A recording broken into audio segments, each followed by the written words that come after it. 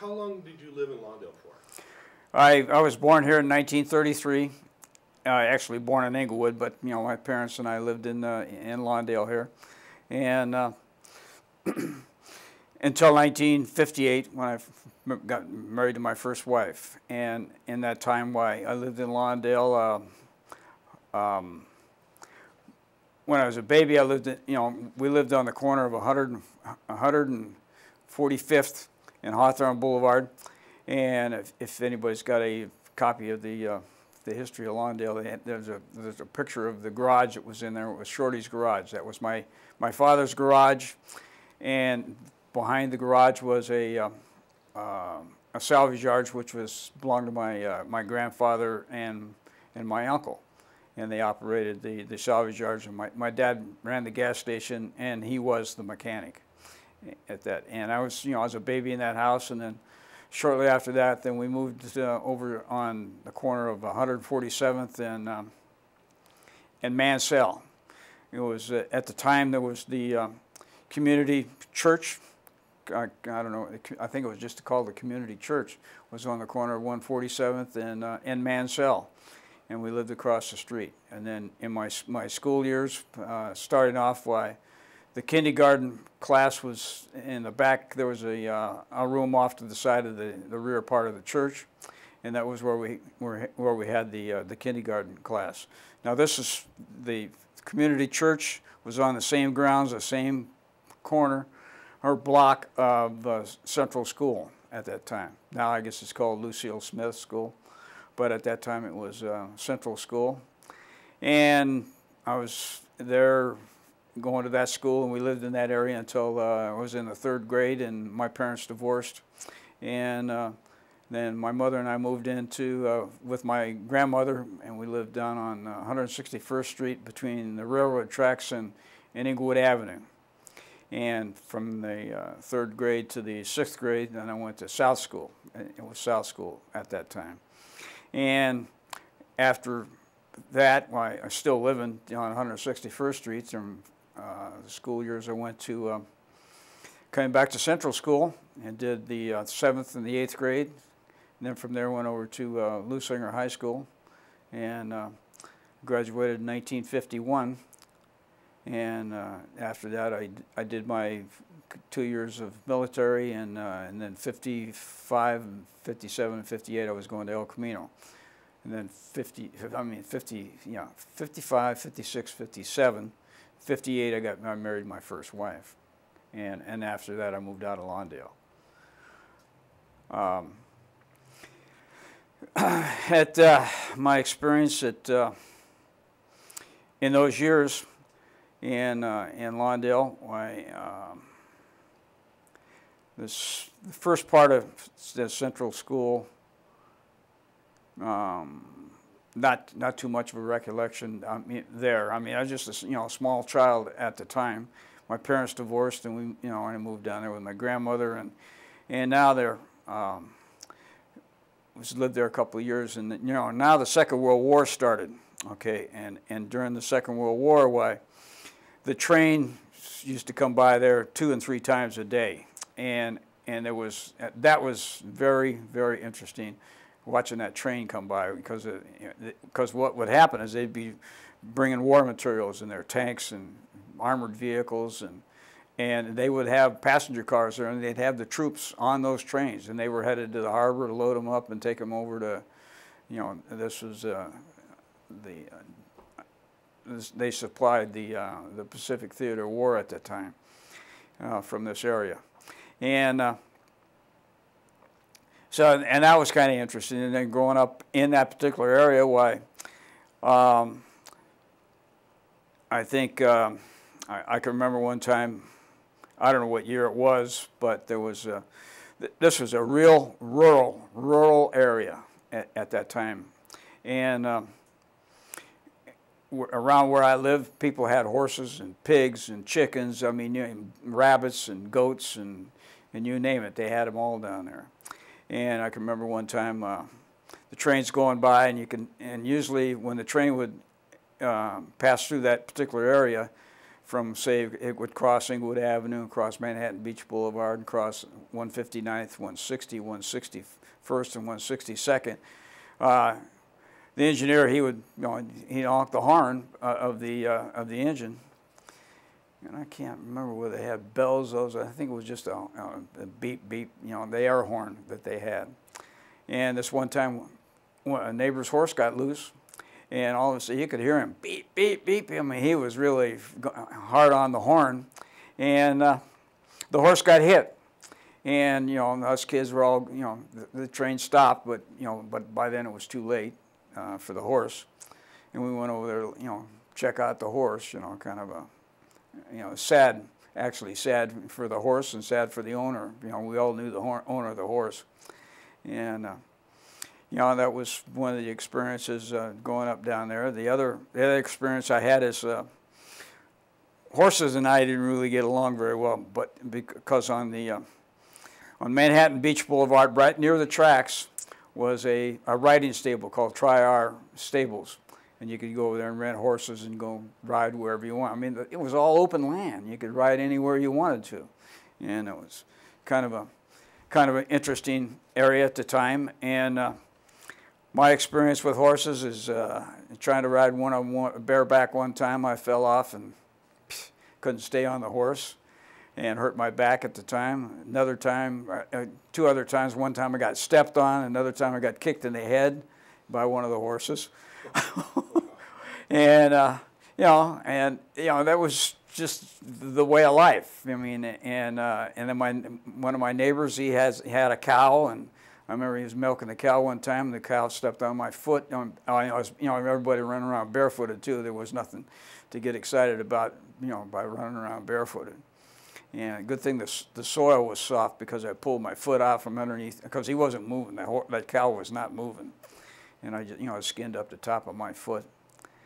And uh, the businesses that were around at that time, one of the main businesses uh, for us around here, the main transportation was the Sunset Stage. You probably heard that already.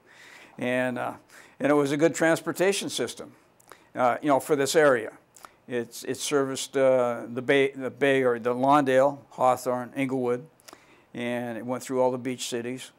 And, you know, and that was our transportation to the beach. You know, and if it, and if it was, usually I had to wait about an hour for the bus if you got, you know, if you didn't feel like waiting, you just lived close enough to the beach, but uh, I just walk to the beach, just walk down there. And I had an aunt that lived in Hermosa Beach, and we'd go down there. That was our, my, my grandmother and I walked walk to the beach or take the bus down there, whatever and uh, we had a great time.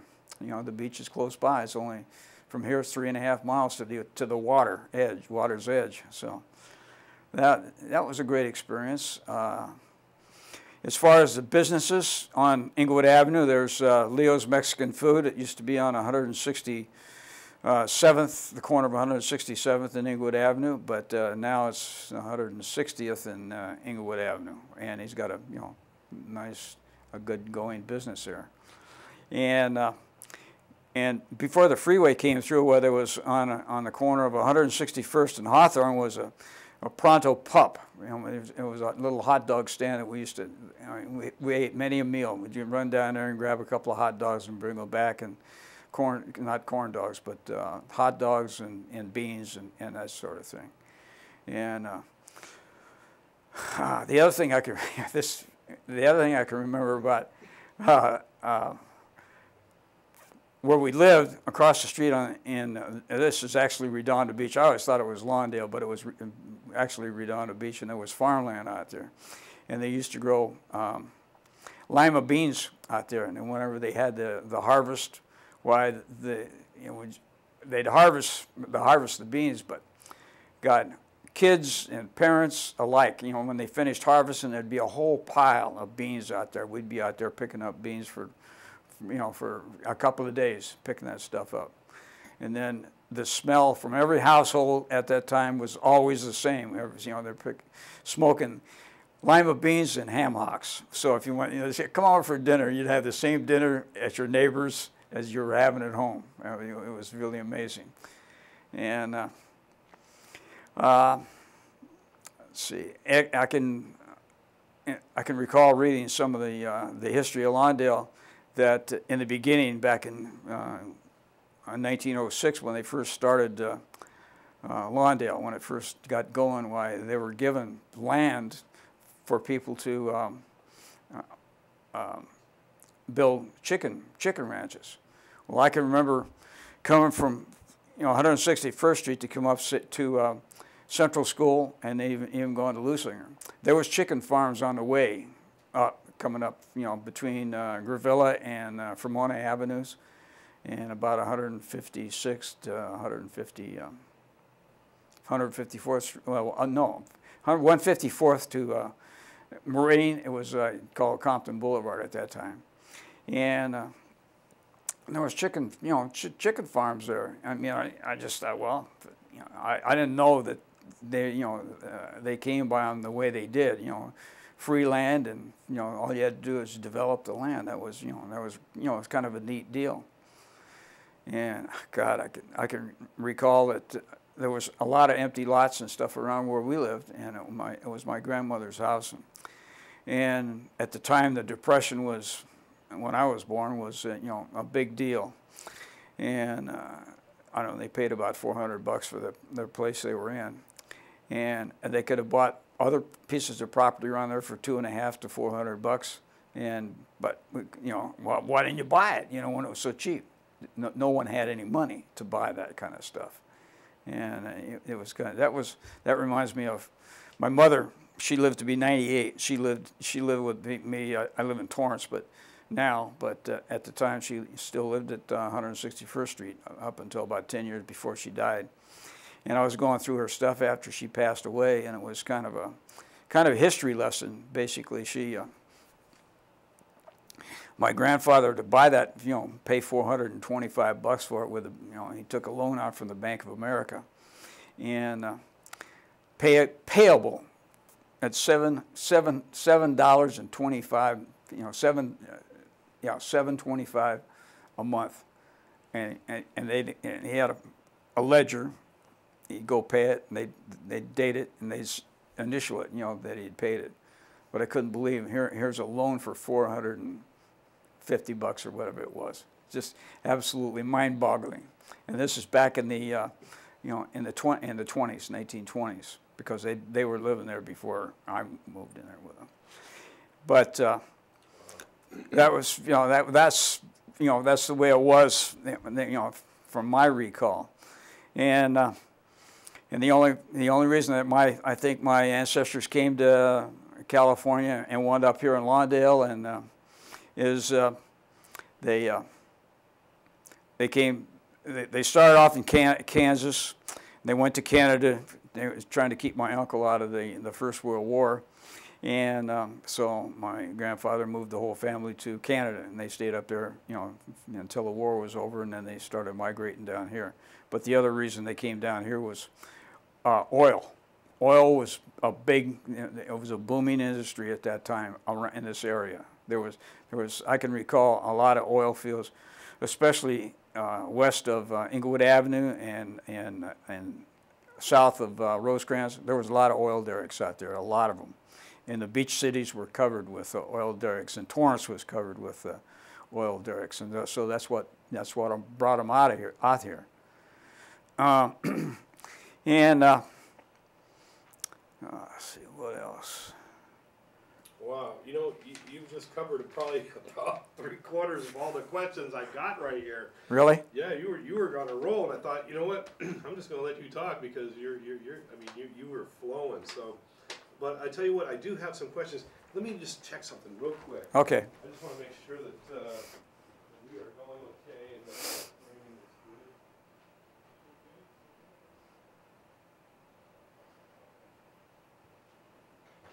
Um, I tell you what, let, me go ahead and just start asking you some of the questions, because some of these questions are actually geared towards, um, different aspects of the, of the documentary that we want to kind of bring out. And forgive me if, uh, if, because I, know you, you've answered a lot of these questions already, but I think if we could just dig just a little bit deeper, it would be very cool. Um, growing up in Lawndale, what, what did kids do for fun back in those days? Well, I can remember um, when the uh, Second World War started. Uh, we were sitting in the living room at you know at my grandmother's house, my dad, my mother, and I, and uh, listening to the radio. They had you know we we started off with radios in those days, and uh, we're sitting there, and a flash come over the uh, over the newswire that uh, or the the program that we were listening to that Pearl Harbor had been bombed, and to me, I didn't know what that meant, and um, you know, but my father explained to me, you know, kind of, kind of, you know, we're at war now, and so, you know, what does that mean? You know, uh, you know, the, the, uh, the guy would he have to go to war? Why? But him and my mom, I don't know. They were, I guess, at the time when we were sitting there, they were probably trying to get back together or whatever, you know, whatever deal was. But anyway, he. Uh, he took off and he went to um, Colorado. But then the next letter I got from him was he had already enlisted in the Army, uh, Army Air Force at the time. It wasn't the U.S. Air Force; it was the Army Air Force. And uh, so, but he was at the time he was in his 30s, and they weren't going to send guy. You know, he's too old. But he was a mechanic to begin with, so he just worked on uh, the B-20, B-20 B-24s. B-24s is what he worked on. And uh, so basically that's what he did. But okay, you know, what, what did I do or what, what did kids do? Well, I can remember riding the Sunset Stage in those days. That's how I learned how to drive before I ever got behind the wheel of a car because what I would do when I get every time I got on that bus, I'd try to get that seat where I could watch the bus driver operate the, the vehicle. And so, I mean, I, I knew all, all the gear shifts. You know, I knew where the gears, I knew about the clutch, I knew about the gas, the steering.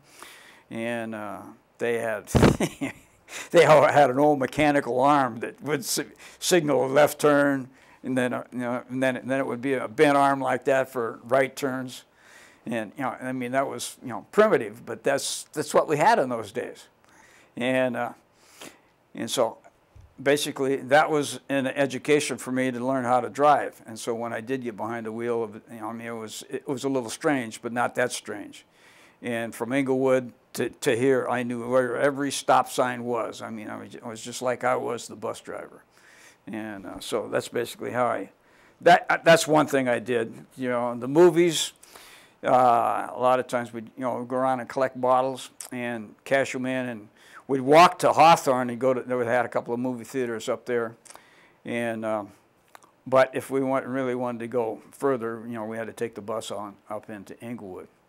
And that was one other thing about the, the transit system is you could go to Hawthorne, you could get on the five car and you go all the way to LA. In fact, is you could go all the way to Eagle Rock on, on the five car. Many times you know, wasn't anything to do on a Sunday or something like that, we'd just go hop on the five car and just take a ride all the way to Eagle Rock and all the way back.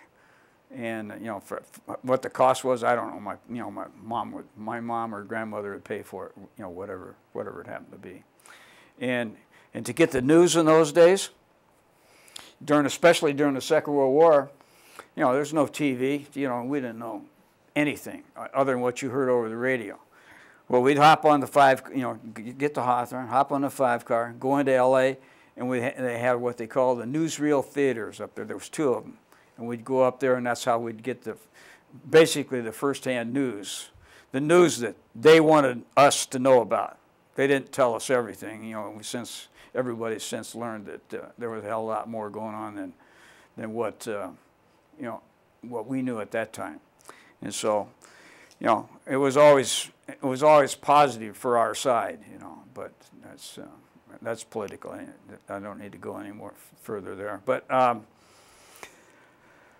uh, what else? You know, I, told you about how I learned how to drive. Well, what I would do, you know, if I was playing by myself, I had a steering wheel and a and a. I told you my grandfather had a, a salvage yard. Well, down at the house where where my grandmother lived, behind the house was, was an old barn. And there was a lot of old parts, automobile parts and stuff like that. So I grabbed the steering wheel, made up a steering wheel and a gear shift. So I'd practice driving in my, in my backyard, just sitting under a tree with my, my steering wheel and, and that's basically how I learned that. Uh, there's always enough kids in the neighborhood too to you know to get up uh, get a softball game or a, a touch football game or uh, and then I put up a, a basket, basketball um, court or just you know a basket in my backyard and we'd play half court basketball back there. Trees and stuff would get in the way, but you know that's you make do with the best you can, you know, and that's what we did. Uh, and then even across the street, there was no houses and stuff. We'd play football out there and baseball. But we'd, I, I made, I made up some, uh, some hurdles so that we could go out there and run track, you know. We'd go over a couple of hurdles and, you know, just, just, just for practice. Never did it in competition, just go out there for something to do. Oh, that's another thing. My, my father, at the time, uh, one time, he was like a junk collector, and he he'd go around and uh, he uh, found a, uh, a discus that a guy named Tom Lieb, I guess it was back in the 20s, he had, uh, he had this discus and he, and he used it in competition. Well, anyway, my dad found it in some junkyard someplace and bought it home for me. So I'd go out there and I didn't know how to, I didn't know the right way to throw it, but, uh, but we found that and, and then we, and he also bought me a, bought a, uh, a shot put for me. So, and so that's that and, you know, playing hide and seek, you know, with the, you know, you want to get the girls involved, and you start playing hide and seek. and anyway, that you know, and the girls would play softball too with us. You know, of course we'd stick them out in the outfield, you know, where they couldn't cause too much damage, but. Uh, but you know, but we still, you know, that's basically basically what we did. There was no, you know, TV where you could sit down like they do today, gang up in somebody's living room and, and sit and watch TV. There wasn't any of that. You know, there, there wasn't any TV.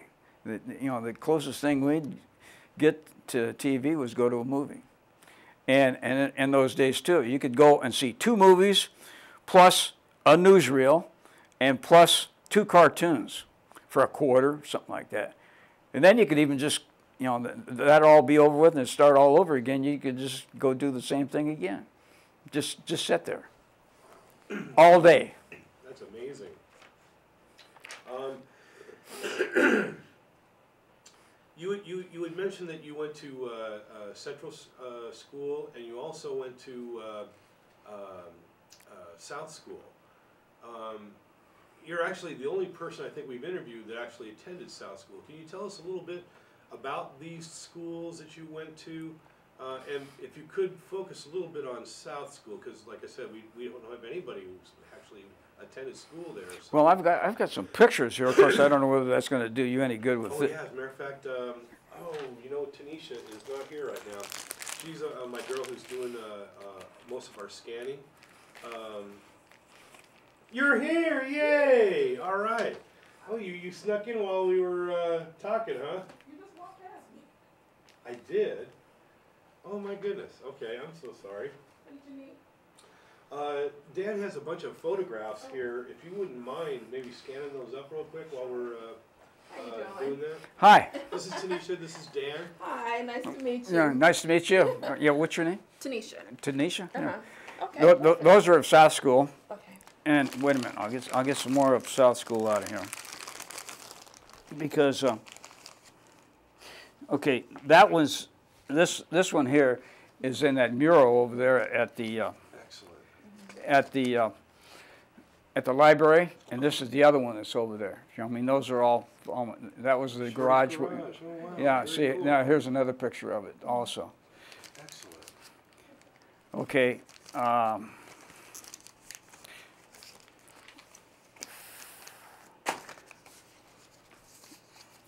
this this is an, uh, another one of, of the market. You know, like we're we're on Wow. on Buren's. Well, right, the the empty lot that's right here, directly across the street was where that market was on 147th Street. Okay. Okay. Uh, and then, well, it's self-explanatory. I just said the, uh, the, the gas station was on the corner of 145th and Hawthorne Boulevard, and it was on the s- southwest corner. There's a florist there right now. Okay. Okay. So that's where that was at. Okay, this was only taken a couple of years ago. My mother passed away in, in, in oh- uh, 06, and I think this picture was probably taken uh, in uh, 05 or 04. And when she passed away, she was 98 years old. So, Wow. so okay, now here's, this is me at, at South School. My father at South School. Oh, wow, that's cool. How cool, you got your dad and you uh, in uniform in front of the school. Yeah, here, here's a couple more. In front, that's, those are all in front of South School. If I identify at all these in a file for me. Okay, and these, are that's, this is my football team. And some of those, you'll see some of those guys in, in, in the school pictures there. And- Oh, okay. Okay, well, Wow, look at the padding they're wearing. And, oh, well, shoot, uh, oh, all right, I guess, okay. And, uh, basically nothing. Uh, okay, this guy here with, with uh, the only one with a helmet on, Janice, Janice's husband, okay, this is George Givens. Janice is married to Bob Givens. That's, the, you know, That's he's, George he's, Givens? yeah, that's George. They call, they called him Bud. Well, I, I didn't know they called him Bud. He was always George to me. You know, we gotta get, you know, Janice does not wanna do on-camera video stuff. But we could probably get Bob to come in and do it. So you know what? Everybody keeps referring to Bob. We're gonna have to get Bob in here. Get get Bob. Have Bob show up. Yeah. Charles, actually. But, uh, yeah, Bob. this is all that you want me to scan? Uh, yeah, that'd be great. Uh, did, did you have any other photos that you wanted uh, to? Well, I Are, are those duplicates or? well this one here. Uh, this is another of the store, but um, I think. Well, I don't know. Oh, these It- same pictures? Yeah, I think they are the same pictures. Okay. All right, thanks, Okay, Tanisha. uh-huh. Appreciate that. All right, very cool. Thank you for bringing those photos in. That's great. You know, one of the things that we're doing is we're actually taking Janice's collection of photographs and we're digitizing them. So we're not only doing this for the for the video, but we're actually creating digital photographs of all the photographs that she has. Uh, you know, for you know, um, putting on discs, so this way we can you know preserve them uh, you know, that way too. So um, it's going to work out pretty nice. This has been a very uh, um, cool project. Okay, uh, so yeah, tell us a little bit about uh, South School, Central School, and did you go to Leuzinger? I went to Leuzinger. Okay, yeah, tell us a little bit about about those schools and any memories you can think of uh, of going to school there. Well, for me, school was a struggle, for one thing. Uh, see, uh, Central School, I was, you know, like kindergarten, first, second, third. And my parents uh, uh, split up at the time. That was, uh, I that's a psychological deal. It's kind of a, yeah, just a psychological deal. It was, a, it was a hard time, and I think um, after when I went to South School, then it seemed like uh, life was kind of a struggle for me, basically. Uh, some of the kids that uh, you know, I played. You know, I had my football team there, uh, and, um, and a lot of those kids, uh, you know, we, the kids that went, okay, I, felt like bas- basically a stranger. I came from Central School, and then I moved down there, and I went to South, started going to South School. So then, when I came back to Central School, well, you know, most of us all come from South School uh, to go to Central School, and then when we got out of the eighth grade, then we went all went to Leuzinger. All the ones that were still stayed in the area, basically. And uh, uh, Leuzinger, I uh, I played football. I played football all four years, C ball, uh, my freshman and sophomore year, and then my junior year I played B B football, and then then my senior year I, I played varsity football. But the only reason I was I got they have a, a system what they call exponents, and uh, I was I was too old to play B. I wasn't very. I was only 150 pounds at the time, and and my senior year playing varsity football. The year before, when I was a junior playing B football, our team, I think it was the first time that Leuzinger ever had a championship football team. We had a really a good good football team, and but all those guys were all seniors and they all graduated. So then a bunch us the B team now we moved up to varsity and we didn't grow much. We were still like a B team. So all, the teams that we played football against, like the Bay League at that time was was comprised of Leuzinger, Torrance, Redondo, El Segundo, Santa Monica, Beverly Hills, and Inglewood. That was the, B, uh, the, the Bay League at that time. And, you know, that, that was all the teams, that was all the high schools that were around here at that time. And, uh, and we got, we got beat pretty good. The only teams, the only time, the only games we won, we, we beat El Segundo and we beat Beverly Hills. The rest of them, we couldn't, couldn't beat them because, and I found out, you know, quite a few years later what the reason was. Is like, uh, Torrance, Redondo, Inglewood, Santa Monica, um, they, they had over 2,000 students. Leuzinger, we, could, you know, we had about 1,200 students, so we were just outmanned from the start. And, uh, you know, and that was the reason. We had some good teams, uh, other teams. They had, all, Leuzinger always had a good baseball team, always had a good baseball team. And, they, and I think they had a pr pretty good size or a good um, water polo team. But as far as the, the, women's sports, I don't know whether they even competed against the other. They probably did, but I didn't know it. I didn't pay any attention to that. But uh, uh, I, I, said it before. You know, school was a struggle. I, you know, it just seemed like everybody. I mean, they studied a little bit and they'd, they'd get it. You know, I mean, I had to study. it seemed like twice as hard as anybody else to to get through school. But that was me. That was just. Uh, probably had a dyslexic problem, and uh, but in those days nobody recognized that. You just figured, well, you're just slow, you know. So that's the way it is. And but you know, I got through, managed to get through it, and uh, and uh, let's see what else. Those. What were some of the things that teenagers used to do? back in the day. Oh, okay. Uh, yes. We had the lighthouse. Probably heard about the lighthouse on the corner of uh, Rosecrans and Hawthorne Boulevard. We used to hang out there. Hawthorne Boulevard was a good cruising street. We'd, we'd cruise from all the way all the way into Inglewood, make a U-turn, come back around, and just just that that was our cruising street. And uh, there was. Um, the lighthouse was the main deal there in, in, in uh, Tell us a little bit about the lighthouse. Huh? Yeah. Any stories uh, about the lighthouse? Uh, well, there was a lot of fights over there, and I was in some of them, but uh, they, uh, yeah, you know, it was just, it was a neat place. You could pull in there and, and uh, I mean, if, even if you're by yourself, you're going to run into somebody that you wouldn't, you know, that you knew, that you, you know, that you, uh, you know, some of your buddies or, or friends from school, and, and, uh, but you know, they had good food, and, uh, but it was just a, you know, they had a good sized parking lot where you know a bunch of us could park there and just hang out, and just like you know, just like today, you know, a place to hang out, and. Uh, but it was, you know, and a lot of times that was the, the meeting spot too. You say, well, we'll meet you at the lighthouse, you know, so because everybody knew where that was at. But from there down, I, I can't remember any stopping off places. There wasn't any drive-ins like that.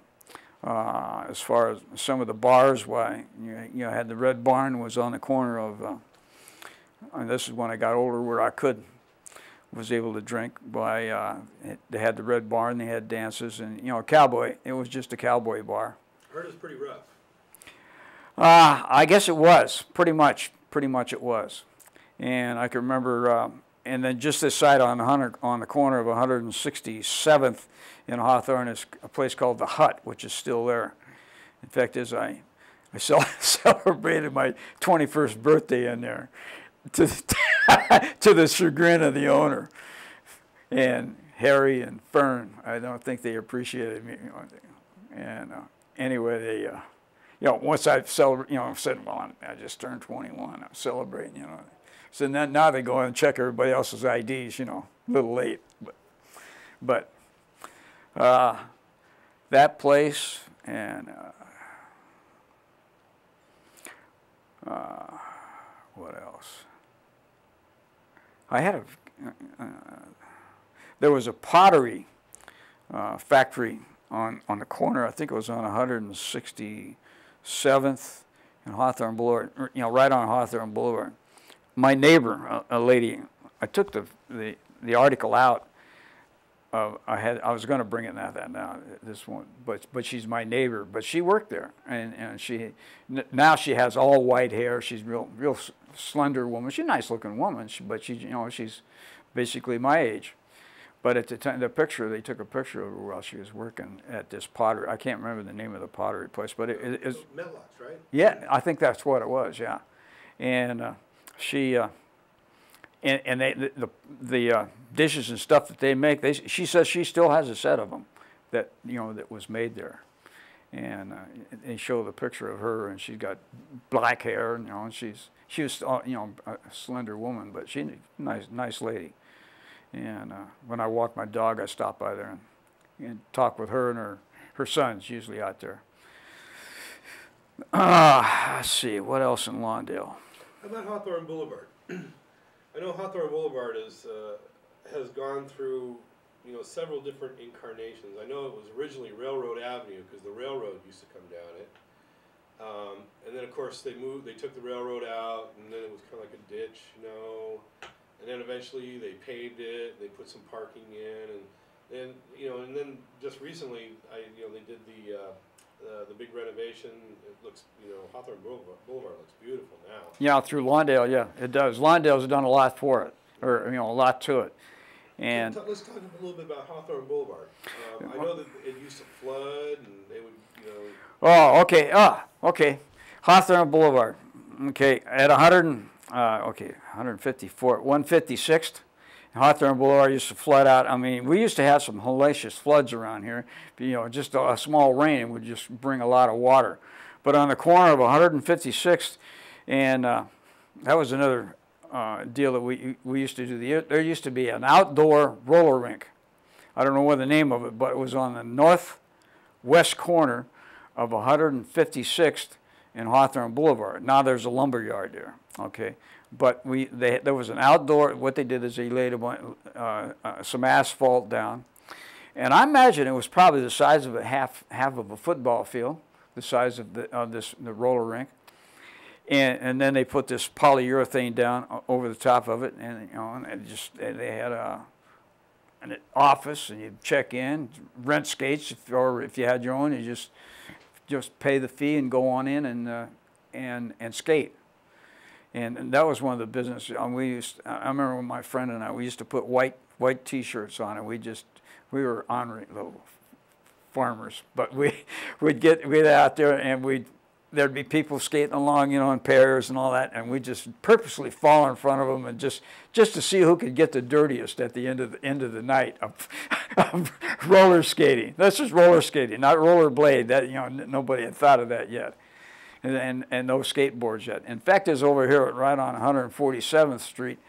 I think they moved the, the fire station, but it used to be on this side of, I guess, what would that be, Osage or whatever, you know, it'd be a block this side of where it's at now. I think it's on the corner, but they had it, it was right directly across the street was a, a building that was fair size and they had a roller rink in there also.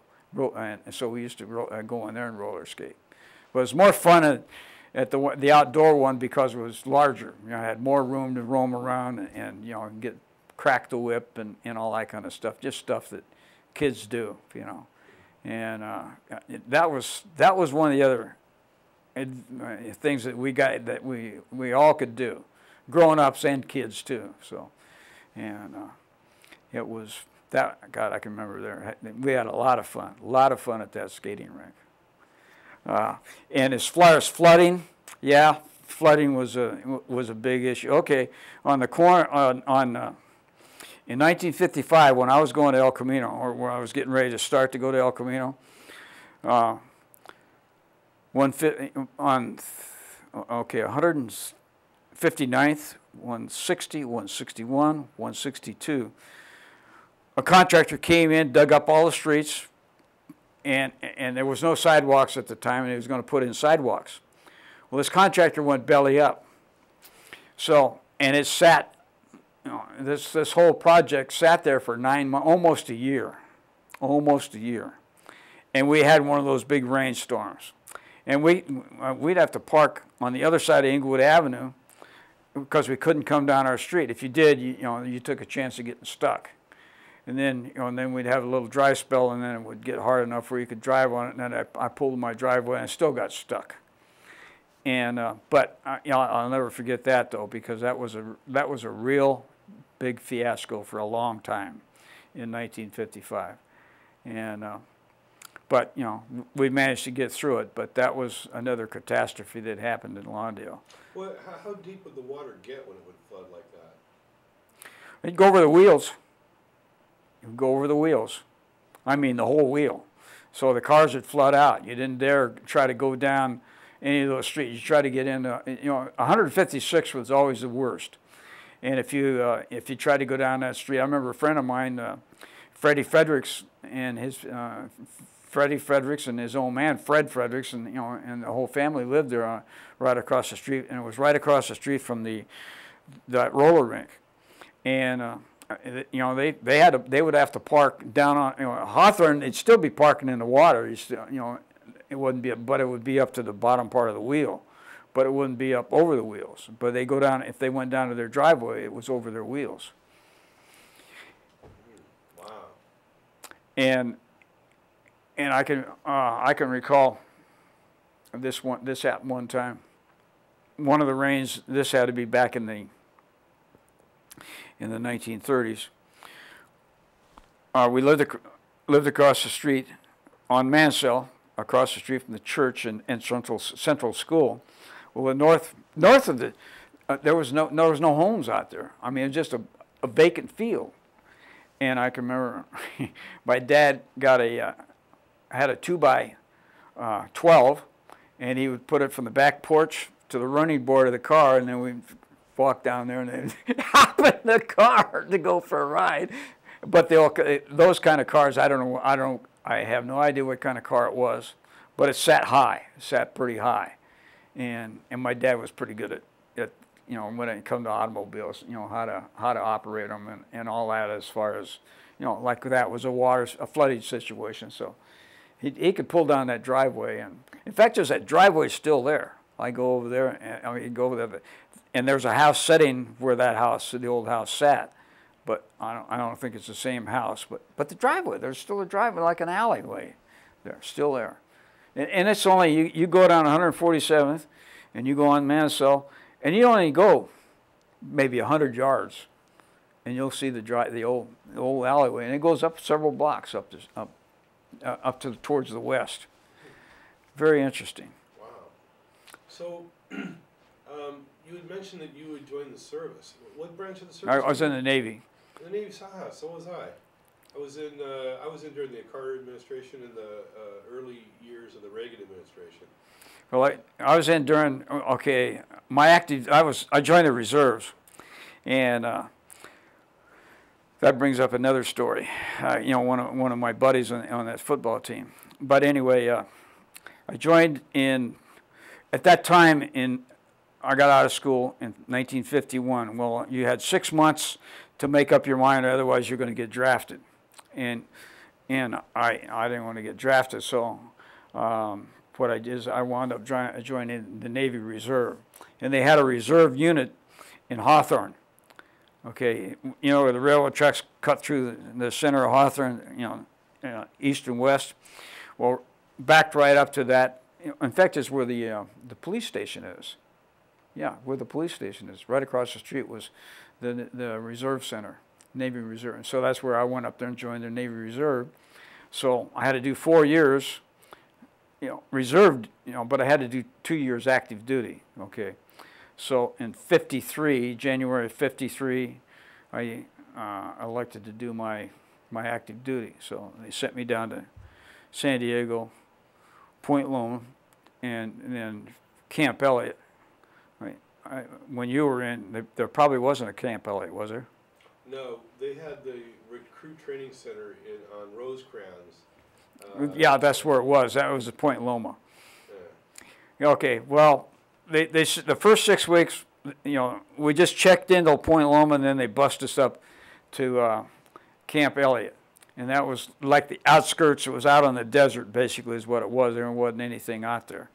And, uh, in fact, just I-15 goes right through the middle of where that base used to be. And, uh, uh, so I did 12 weeks of boot camp.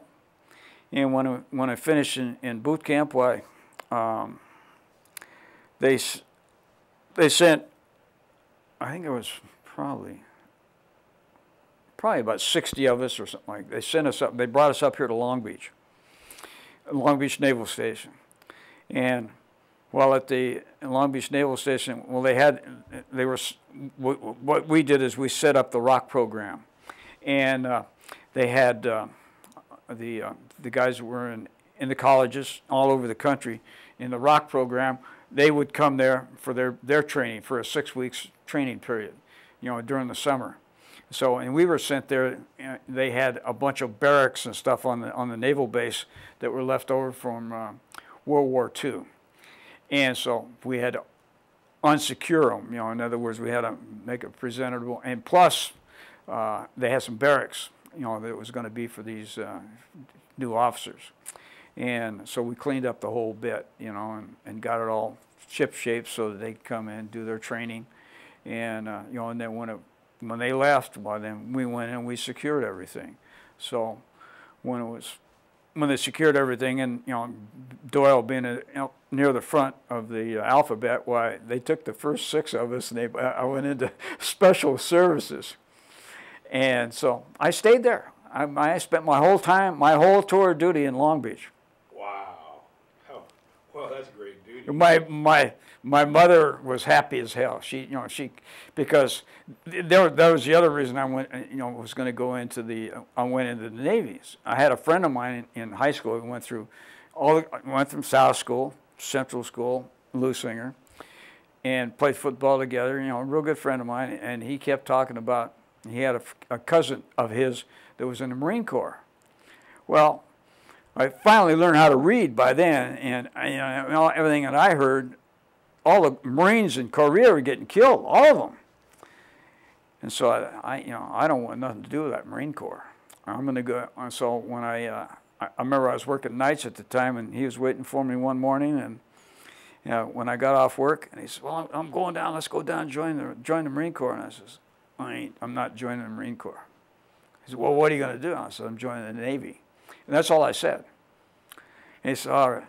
So he wound up joining the Navy, but, but I didn't say reserve. I didn't think about saying reserve. I just said, I'm joining the Navy. And so I went up here and joined the Navy Reserve, and he went down and he joined for four years. So, but he, you know, he got to see some action.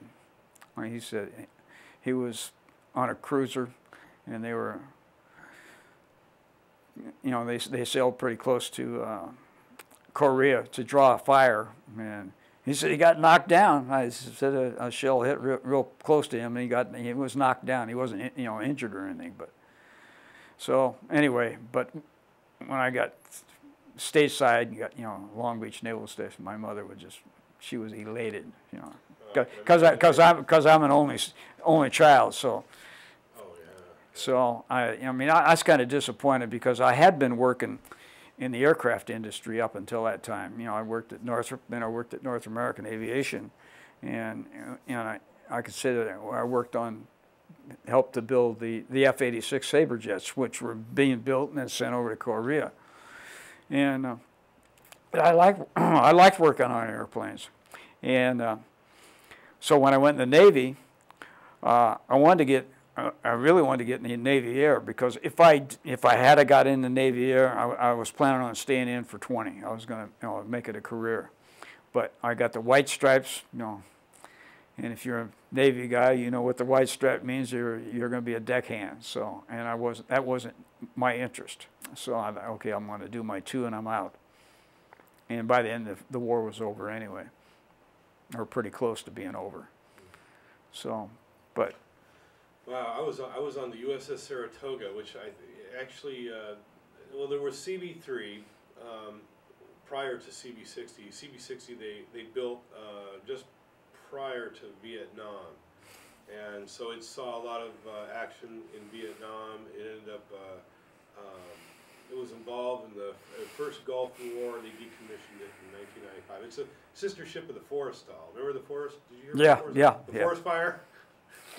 uh, John McCain was on that, uh, was on the, uh, uh, the Forrestal. And he was there when that, uh, when, when, um, they have this classic footage where, um, apparently, they were charging, you know, one of the missiles and it just took off right across the deck, hit, hit another couple of planes, they blew up. And so, and it's funny too, because they, they showed, you know, the footage of the planes burning and there was this chief petty officer he grabbed a, a bottle of PKP, you know, and started running towards the planes to, you know, try to put the fire out. But then what happened was it, uh, the fire got blew up one of the fuel tanks, and then there was like a massive explosion. And uh, they fought that fire for three days, 24/7, until they finally got it out because all the fuel started uh, leaking into, you know, the uh, the holes, you know, uh, you know, going down into the ship, and suddenly the inside of the ship was on fire. It was a, it was just a, a, a nightmare. I mean, it, at some, I think it was in the middle of the of the second day. They thought that they might be losing the ship and that they would have to abandon ship, but uh, they ended up finally getting control of it and ended up getting it put out by the third day. Pretty crazy uh, thing, but they learned an awful lot about firefighting when they, uh, you know, through that uh, that particular incident. But um, uh, yeah, we, we, we used to be ported right alongside the Forrestal in Mayport, Florida. I was actually Sixth Fleet, so. Mhm. Uh, but gosh, I kept remembering. I just every time I had an opportunity to fill out a dream sheet, you know, uh, I'd always put Long Beach Naval, you know, uh, uh, weapons uh, station, and and then they uh, would never give it to me. Closest I got was Alameda up in Northern California. I spent Yeah. the last two years there. That's, that's one thing about the Navy, is that the, the needs of the Navy comes first, and exactly, the exactly what happens And in if there. Uncle Sam wants you to have it, he'd issue it to That's you. right, exactly. That's, that, that was my experience, especially at the naval Station. They can't take away your birthday. No, no, no. Oh my goodness. Okay, so um, uh, let me see here. Um, you know, you've covered so much ground. I mean, I, I kind of hate to ask you these questions and have you, you know, repeat yourself. Um,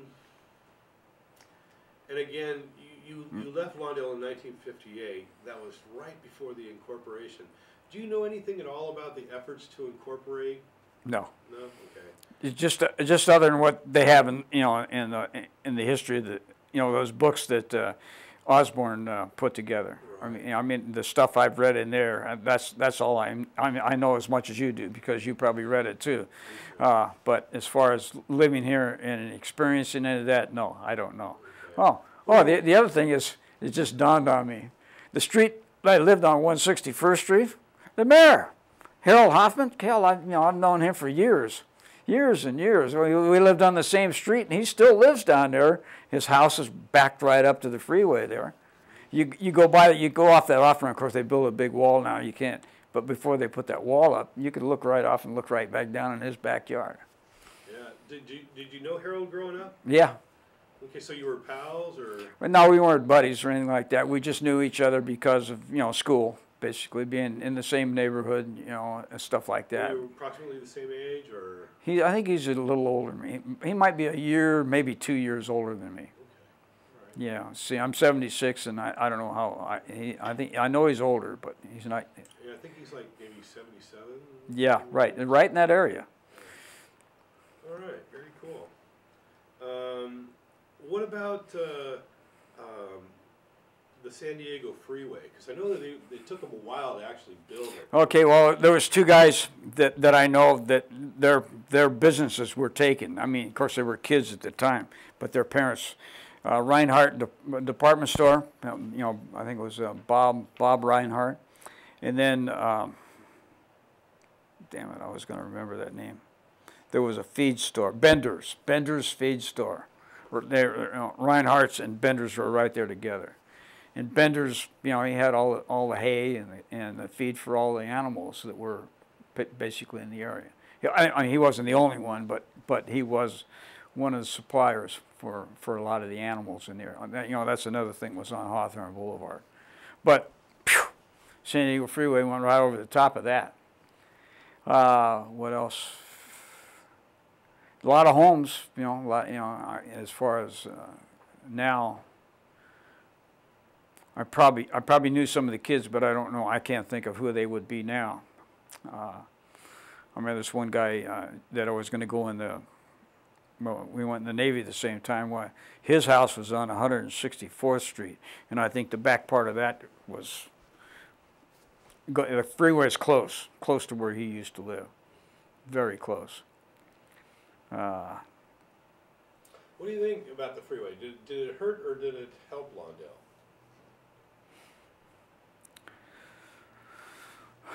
Well, uh, now it hurts because the damn thing. I mean, it's you know, it's like a parking lot, you know.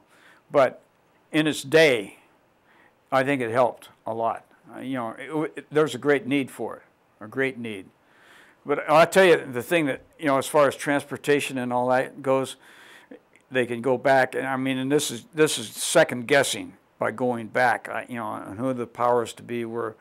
You know, I mean, they really screwed up because we did have a transit system, and and it, and, and it was called the red car, and it used to go down by the beach. It took it went through all the beach cities. Okay, right on the beach, you know, just maybe hundred yards, not even hundred yards, maybe sixty yards in from the water's edge.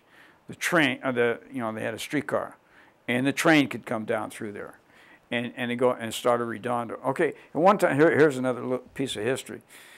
At one time, the city of Redondo Beach, the harbor down there, that was going to be L.A. Harbor.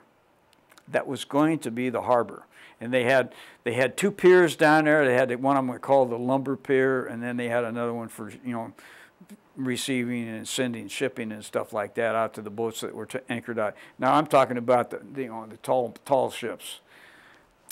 And, and they had a rail system that went down there, went right out on those piers, okay?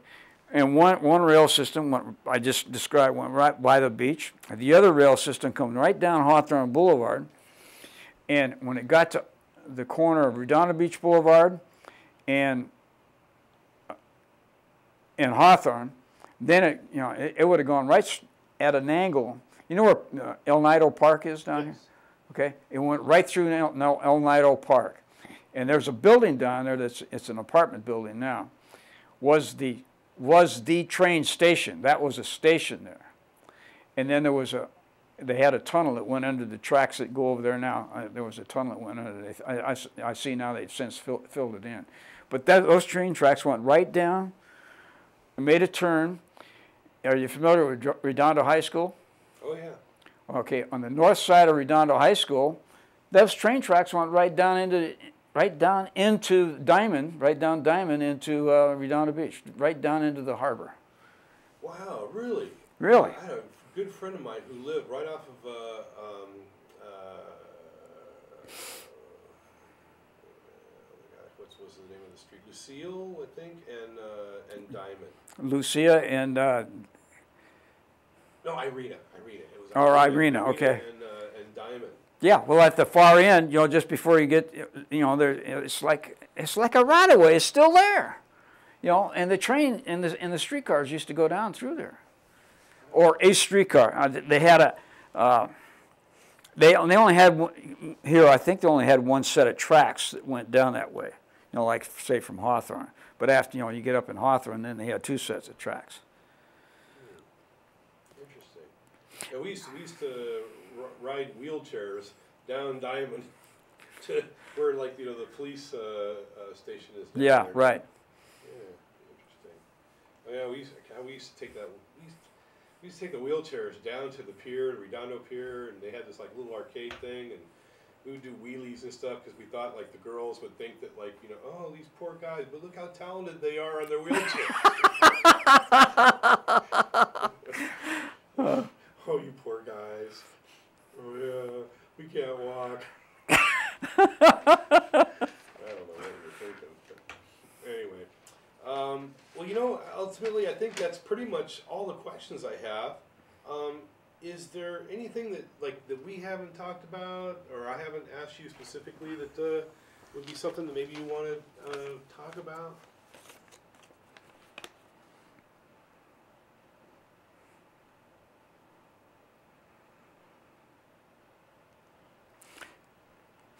Well, on the phone, I told you, you know, I talked about the, the Optimist Club, you know, I worked on that. Yeah, that's right, the Optimist Club. You helped build that building. Yeah, Yeah, let's talk about that. yeah, I worked, worked on that one, and, and it's, uh, what do they call it now? It's, it's, they got a, some kind of a used car dealership in there now. And, but anyway, I helped build that, and that was back in the, um, God, fifties? Probably, you know, uh, you know, like 49, 48, 49. I mean, I was still in high school, and I was working on that. Yeah, you know, with uh, this this friend of mine, Duran Avery, and his parents had a um, a little mama papa store on the corner of 159th and Hawthorne Boulevard, and and we you know we were in the same grade together. You know, basically, uh, you know, eighth, seventh, eighth, and you know, and then then high school together, and him and I worked on it. But then they had the guy that, that supplied the materials, uh, Lawndale Building Supply, was on the corner of Manhattan Beach Boulevard and uh, and Hawthorne Boulevard. And, and Bill was guy. I don't know what his last name is, but big old guy, nice guy, great guy. Anyway, he he supplied all the stuff you know for that Optimist Club, you know, and we built that, you know, helped build that club. Where is it located again? It's uh, hundred, um, between one fifty-sixth and Manhattan Beach Boulevard. It's on the east side of the street, but it's, it's just the next building next to McDonald's. McDonald's is on the corner of one fifty-sixth and Hawthorne. And then you go, the, there's a parking lot, there's two, actually two parking lots, and then you got the building. And that's the old Optimist Club, and then the next one is a, uh, uh, what the hell is it? Uh, I think a motel or something like that, hotel, hotel, I guess it is. Hotel, no-tel? Yeah, one, one, one of those, right, All right. yeah.